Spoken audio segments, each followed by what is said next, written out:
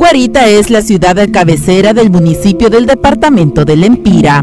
El recorrido dura aproximadamente dos horas y media de la ciudad de Gracias. Lo que separa este municipio con el de San Juan Guarita es apenas media colina. Guarita fue fundada entre los años de 1760 a 1772, según información recopilada por personas oriundas de este lugar y por documentos escritos, muchos de ellos quemados por mala pasada de la historia, como por información de boca en boca. Hasta ahora no hay una versión exacta. Su asentamiento lo tuvo en el lugar que hoy se denomina Pueblo Viejo, el cual, debido a la escasez de agua y la distancia entre el lugar y el sitio de ubicación de las áreas, es apta para el trabajo agrícola. Los habitantes optaron por trasladarse al lugar que actualmente es Guarita. Aquí hubo dos fenómenos que borraron prácticamente la historia de Guarita. Los dos fenómenos son, en primer lugar, cuando la agresión salvadoreña quemaron el archivo municipal y algunos años después, por un descuido, agarró fuego el convento, que era la otra fuente investigativa que había acá, y también se perdió. Respecto al origen del municipio, pues por referencias de mi padre se sabe que nació en la aldea de Sazalapa, que es una aldea que hoy pertenece a San Juan Guarita. Ahí vinieron unas familias españoles, vinieron dos eh, esposos, por cierto, el uno se llamaba Bernardino Navarro y la esposa se llamaba María del Carmen López. Ella tenía el título nobilicio de doña. Ellos fundaron la hacienda de, San Francisco de Sazalapa. De ahí nació una gran cantidad de personajes eh, que, ha sido quizás la gente más destacada de este pueblo, entre ellos el padre Francisco Navarro, hay un eh, canónigo Juan de Dios Navarro y Ángel María Navarro que es obispo de Santa Rosa de Copán. Guarita, em, hay, hay varias hipótesis, pero quizás la más acertada sea de que acá, acá por esta zona, por aquí hay un, hay un pequeño acantilado que le dicen el Barranco de las Guaras y se supone que en ese tiempo había abundancia de macamayas en la zona o de guaras, como se le conoce acá. También por el mismo lugar pasa una quebrada que se conoce como quebrada de las guaras. Entonces se supone que de ahí, como el, diminutivo de guara, guarita, se le dio el nombre de, de guarita. La primera escuela de educación primaria fue fundada en la cabecera municipal, atendida por tres religiosas guatemaltecas. La historia de la iglesia encierra misterio, todo por una imagen que fue encontrada por un obrero de la zona. Después no sabemos por qué razones se trasladaron a una un lugar que hoy se conoce como Pueblo Viejo, donde se supone que tuvo el origen inicialmente este municipio que queda por por acá más o menos a unos 3 kilómetros.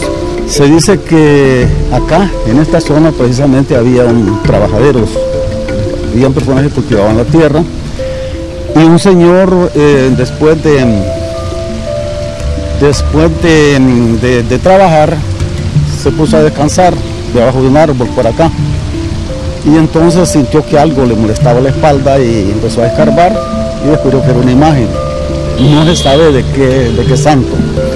Entonces, eh, la imagen, él se emocionó y se la llevó al referido lugar ese del pueblo viejo. La llevó a su casa y luego con el tiempo le construyeron su, templo. Y en cierta ocasión la imagen se les venía, se les, se perdió por donde no sabían para dónde. Entonces dieron buscarla y la vinieron a buscar acá y es que la encontraron. Y eso se repitió por muchas veces hasta que fruto tanto eh, decidieron para que la imagen no, no retornara acá a construir el templo que, que tenemos ahorita acá. La población de Guarita es muy laboriosa, gente dedicada a la agricultura, ganadería y el café. Además, que es un pueblo tranquilo, con cero incidencias delincuenciales, a pesar de que sus vecinos del sur son de El Salvador. En este lugar no se vende ni se consume bebidas alcohólicas. La mayor parte de nuestro pueblo se dedica a la agricultura, la agricultura en un 90%, eh, ganadería en mediana escala, café, que ahora últimamente ha repuntado la producción de café en esa zona. Todo lo que es la zona alta de, allá de montaña, estamos ahora cultivando café.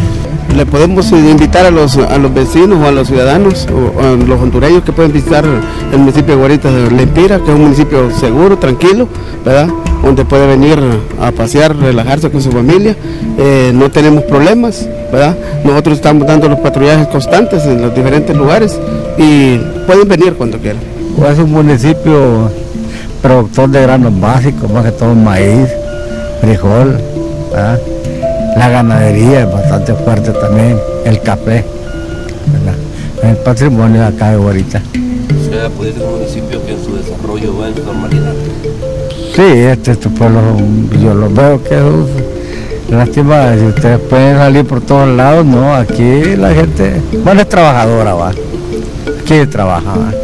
Una, gente luchadora, emprendedora. Es una gente luchadora, también aquí conseguir un trabajador aquí cuesta, va. todo el mundo pasa ocupado. Va.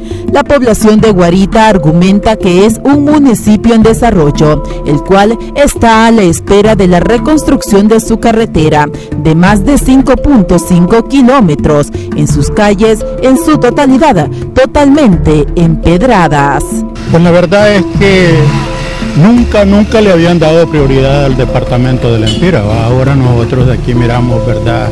Nada menos ese proyecto de esa carretera de Cololaca hacia Valladolid. Es un proyecto de carretera muy bueno, ¿verdad?